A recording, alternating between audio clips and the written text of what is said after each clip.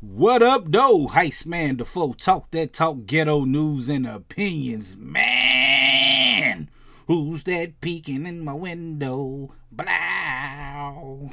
Nobody now. Nobody but Mike Boogie Malin. Mike Boogie Malin, or Malin, I don't know how to pronounce his last name, but he from Big Brother. And um, he been accused of stalking. Matter of fact, he ain't been accused. He been found guilty of stalking. Stalking Dr. Will. His homeboy, who was that, Chilltown? Yeah, that was the name of that group, Chilltown. Dr. Will Kirby.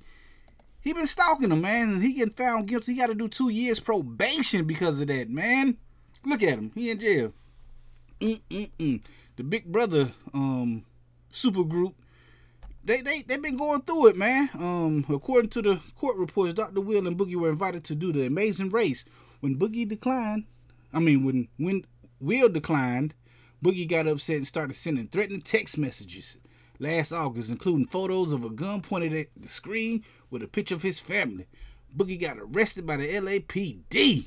Mm, mm, mm. That's a wild story, man. That's that's crazy. Like they was friends, they was homeboys, man. And I think um Dr. Will he doing better in life. He chilling. He doing this thing. He want to go on an amazing race with um Will. I mean um with Boogie and Chilltown. You know he he chilling. He doing this thing, man. But he stalking him just cause he don't want to do a show with him. So they show you, man. The price of fame is crazy. Success and all this stuff, man. Like you just go hand in hand. I don't know what I just said. It sounds good though. Like I like I said though, like that's crazy though. That he don't want to um. That he gonna stalk the dude. Like you gonna you gonna threaten the dude family pictures of guns and stuff. That's that's wild, man. You should have been chill. Your, your, group called Chilltown. You should have been chilling, bruh. Baby, he'll work with you again, but it's over with now. You got two years probation for felony stalking. Felony. Mm mm mm. That's wild, man. Anyway, we definitely gonna be talking about this Friday right here on the channel, man. I go live every Friday at 9 p.m. Y'all gotta come through and holler at me and join these conversations, man. Um, hit that like button, the comment button, the share button, the subscribe button, the notification bell, all them good buttons you gotta hit. The share button, did I say that? Yeah. Well, all them good buttons you gotta hit to get this pimping that I'm putting out when I put it out. And like I said, I go live every Friday at 9 p.m. Come through, join the conversation, and holler at your boy.